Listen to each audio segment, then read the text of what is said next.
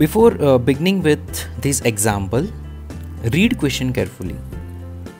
In question it is given that the period of oscillations of a simple pendulum is given by the formula t is equals to cap the capital T always represent time period. Time period means period time to complete one oscillation. What is oscillation? You can see here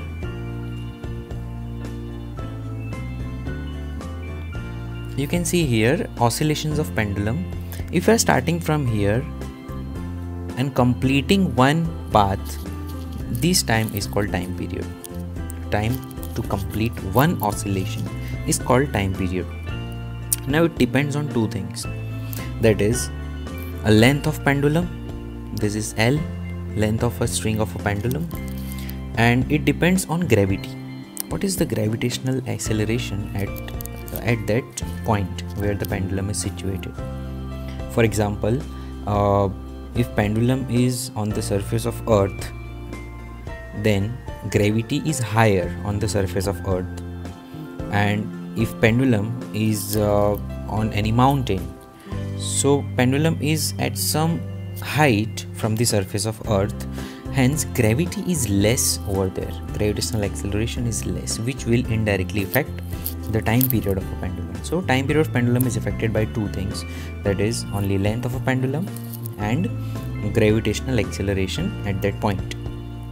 Now this is useless. 2 pi is useless. It is not useful for us because it is constant. It is not a variable right? And reading question measured value of L is 20 centimeter known to 1 mm accuracy. 1 mm accuracy means it is delta L given to you right?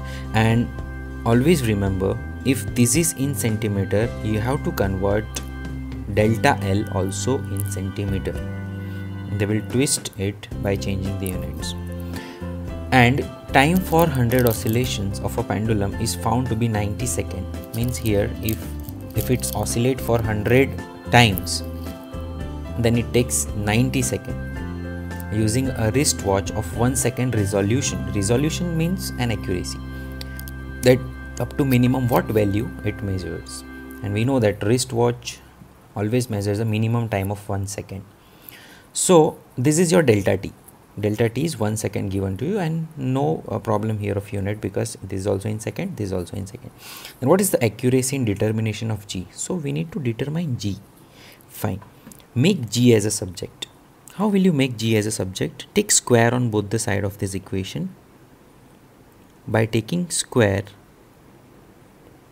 we will take it's 4 pi square. We will take g out of root. It is L by g. And making g as a subject, g is equals to L into 4 pi square upon t square. So for my delta g upon g, I'll be getting delta L by L plus 2 into delta T by T. But here if you note down question properly it is capital T is not given to you and delta capital T is also not given to you because capital T and delta capital T are time for one oscillation and in question they had given that for 100 oscillation time t is given to you small t is given to you capital T is not given to you so what will you do? So we will find out relation between small t and capital T. So concentrate. If time taken for complete one for completing one oscillation is capital T, then what will be time for n oscillation? If let us say it is small t, then from by cross multiplication, we can say that t into n should be equals to capital T into 1 that is capital T is equals to T n. Now multiplying delta on both the sides I can say that delta T is equals to delta small t into n. Hence from equation 1 and 2 I can say that delta T by T is equals to delta T into n upon T into n and n will be cancelled out hence equation 3 states that your delta capital T by T is always equal to delta small t by t irrespective of any oscillations you count. So finally now from our this equation delta g by g is equals to delta l by l plus 2 delta t by t if we'll put all the values you will easily get the relative error in gravity. You can also find out percentage error by multiplying relative error by 100 now let us take our equation.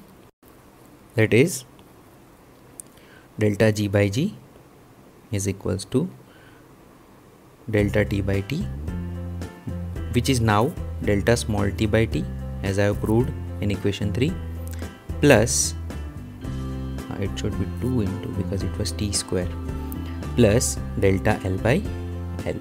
Now L is given as 20 centimeter plus or minus it was corrected to what was the resolution? Resolution was here we can say 1 mm accuracy. So delta L was 1 mm. Now I can say that plus minus delta L. For plus minus delta L I'll be having plus minus 1 mm 1 mm is nothing but 0.1 centimeter. And your delta T uh, I mean time is given as t which is 90 second. Plus or minus it was corrected to 1 second value. Resolution of wristwatch was 1 second second now by putting all those values because this is nothing but L plus minus delta L and this is T plus minus delta T now putting all the values delta G by G is equals to 2 into 1 upon 90 that is delta t by t plus 0.1 upon 20 which is delta L by L. Now substituting all the values we will be getting delta G by G is equals to 0.027 and uh, percentage error we can find out as delta G by G into 100 which is equals to 0.027 into 100 which is equals to 2.7 percent or it is equivalent to 3 percent. This is your percentage error. Hope you have got the concept. Thanks for watching